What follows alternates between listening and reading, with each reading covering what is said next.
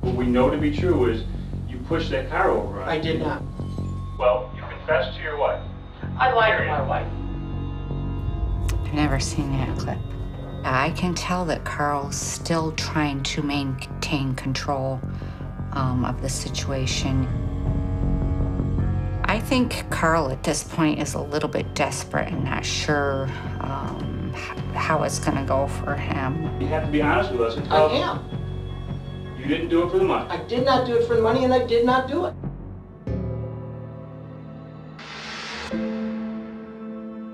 When I got the call, just relief um, beyond belief. Um, this huge weight lifted off my shoulders.